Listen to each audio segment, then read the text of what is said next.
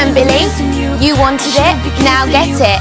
The mega cool Dolly's best ever love songs.